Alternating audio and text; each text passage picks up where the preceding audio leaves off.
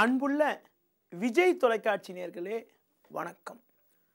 ஜோதிட தகவலில் குழந்தை யோகத்தை பற்றி இன்று உங்களிடம் ஜோதிட ரீதியாக சில குறிப்புகள் கூற உள்ளேன். குழந்தை பாக்கியம் என்பது ஒருவருக்கு ஒரு மிகப்பெரிய ஒரு வரனாகும். ஒரு சிலருக்கு எளிதில் குழந்தை பாக்கியம் ஏற்பட்டுவிடும். ஒரு சிலருக்கு எவ்வளவு போராடினாலும் வாரிசு யோகம் உண்டாவதற்கு இடையூறுகள் ஏற்படும். ஒருவரின் ஜாதகம் பலமாக இருந்து பூர்வ புண்ணியம் சிறப்பாக இருந்தால் எளிதில் குழந்தை பாக்கியம் என்பது ஏற்பட்டுவிடும். பொதுவாக ஆண்கள் ஜாதகத்தில் ஜென்ம லக்னத்திற்கு ஐந்தாம் வீடானது குழந்தை பாக்கியத்தை குறிக்கக்கூடிய ஸ்தானமாகும்.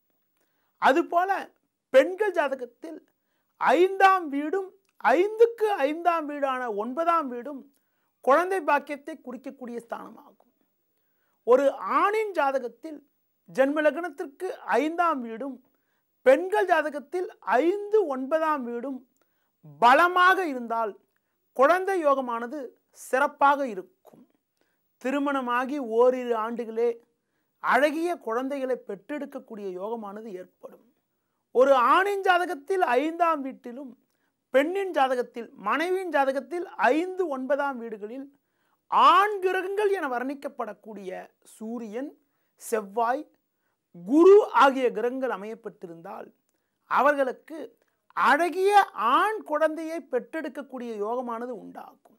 அடுத்து பார்க்கின்ற பொழுது பொதுவாக ஐந்து ஒன்பதாம் வீடுகள் பலம் பெறுவது மட்டுமில்லாமல் சூரியன் செவ்வாய் குரு ஆகிய கிரகங்கள் பலம் பெறுவதன் மூலமாக கண்டிப்பாக ஆண் வாரிசு ஏற்பட்டுவிடும். பெண் குழந்தை யோகத்தை பற்றி பார்க்கின்ற பொழுது பெண்கள் ஜாதகத்தில் ஐந்து ஒன்பதாம் வீட்டிலும் ஆண்கள் ஜாதகத்தில் ஐந்தாம் வீட்டிலும் பெண் கிரகன் சொல்லக்கூடிய சந்திரன் சுக்கரனுடைய ஆதிக்கம் என்பது அதிகப்படியாக இருந்து சூரியன் செவ்வாய் குரு ஆகிய கிரகங்கள் பலகீனமாக இருந்தால் பெண் குழந்தை யோகமானது ஏற்படும். பொதுவாக ஐந்து ஒன்பதில் ஆண் கிரகங்கள் பலம் பெற்றிருந்தால் ஆண் குழந்தை யோகமும் பெண் கிரகங்கள் பலம் பெற்றிருந்தால் பெண் குழந்தை யோகமும் உண்டாகும். அடுத்து திருமணத்துக்கு பிறகு வரக்கூடிய தசாபுத்திகள் மிக மிக முக்கியம். தசாபுத்தியை பார்க்கின்ற பொழுது ஆண் கிரகங்களுடைய தசாபுத்தின்னு சொல்லக்கூடிய சூரிய திசை செவ்வாய் திசை குரு திசை நடைபெற்றாலும் குரு பலமாக இருந்து தசாபுத்தி நடைபெற்றாலும் அவர்களுக்கு ஆண் வாரிசு யோகம் உண்டாகும். அதுவே திருமணத்துக்கு பிறகு வரக்கூடிய தசாபுத்தியானது சுக்கர சந்திரதசையாக இருந்தால் பெண் குழந்தை யோகமும் பாவகிரக தசாபுத்தியாக இருந்தால் பெண் குழந்தை யோகமும் உண்டாகும். சிலருக்கு சனி திசை ராகு திசை கேது திசைலாம் நடைபெற்றால் பெண் வாரிசு இயற்கும் உண்டாகிறது. சிலருக்கு பார்த்தீங்கன்றால் கோச்சார ரீதியாக ஒரு ஆண் ஜாதகத்தில் அதாவது கணவர் ஜாதகத்தில் குரு பகவான் எங்கு இருக்கிறாரோ அந்த குரு இருக்கக்கூடிய ஸ்தானத்திற்கு திரிகோண ஸ்தானத்தில் கோச்சாரத்தில் குரு வருகின்ற பொழுது குழந்தை யோகமானது பலமாக இருக்கிறது. அதுபோல ஒரு ஆணின் ஜாதகத்தில் கணவர் ஜாதகத்தில் சனி எங்கு இருக்கிறாரோ சனி இருக்கக்கூடிய இடத்தில் சனி வருகின்ற பொழுது வாரிசு யோகமானது உண்டாகிறது.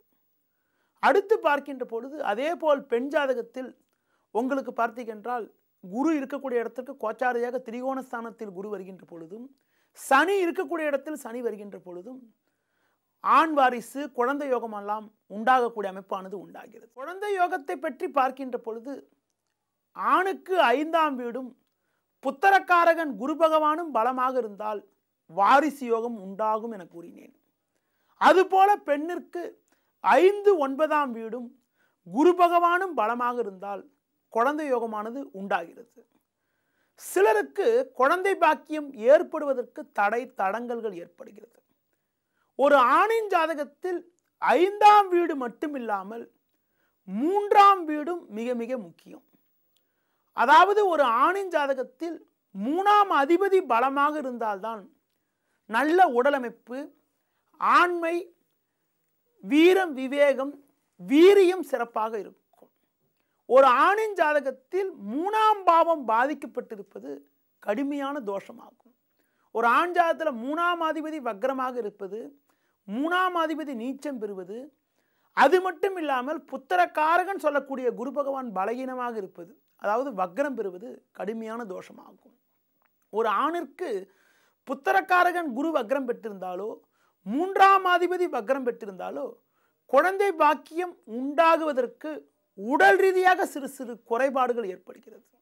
அது மட்டும் இல்லாமல் ஒரு ஆண் ஜாதகத்தில் ஐந்தாம் வீட்டில் சனி அல்லது ராகு போன்ற கொடிய பாவகிரகங்கள் இருந்தாலும் குழந்தை பாக்கியம் ஏற்படுவதற்கு தடை தடங்கல்கள் இடையூறுகள் உண்டாகிறது.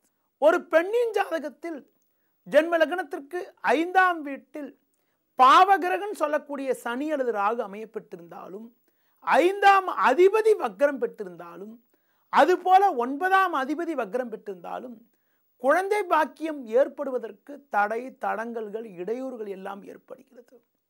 அது மட்டும் இல்லாமல் ஐந்து ஒன்பதாம் வீடுகளில் பாவகரங்கள் அமையப்பெற்று குரு வக்ரம் பெற்றிருந்தால் குழந்தை பாக்கியம் ஏற்படுவதற்கு பெண்களுக்கு பாதிப்பு உண்டாகிறது.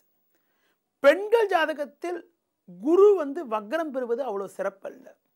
ஒரு பெண்ணிற்கு குரு வக்ரம் பெற்றிருந்தால் கர்ப்பப்பை கோளாறு குழந்தை பாக்கியம் ஏற்படுவதற்கு தடை தடங்கல்கள் இடையூறுகள் ஏற்படக்கூடிய அமைப்பு குரு வக்ரம் பெறக்கூடிய ஒரு பெண்ணிற்கு அந்த குழந்தை பாக்கியம் ஏற்படுவதற்கான வாய்ப்புகள் குறையக்கூடிய ஒரு அனுகூலமற்ற பலன்லாம் உண்டாகிறது. ஒருத்தருடைய ஜாதகத்தில் ஒரு ஆணின் ஜாதகம் என்றால் ஐந்தாம் வீடும் மூன்றாம் வீடும் குரு பகவானும் சாதகமாக இருந்தால்தான் குழந்தை பாக்கியம் என்பது ஏற்படும். அதுபோல பெண்ணின் ஜாதகத்தில் ஐந்து ஒன்பதாம் வீடு குரு பகவான் பலமாக இருந்தால்தான் வாரிசு யோகமானது உண்டாகும். ஒரு சில ஜாதகங்களில் அந்த ஐந்து ஒன்பதாம் வீடு பாதிக்கப்பட்டிருந்தால் குழந்தை பாக்கியம் ஏற்படுவதற்கு தடங்கல்கள் ஏற்படும். அப்படிப்பட்ட அமைப்பு இருக்கின்றவர்கள் குலதெய்வ வழிபாடு செய்வது மிக மிக சிறப்பு.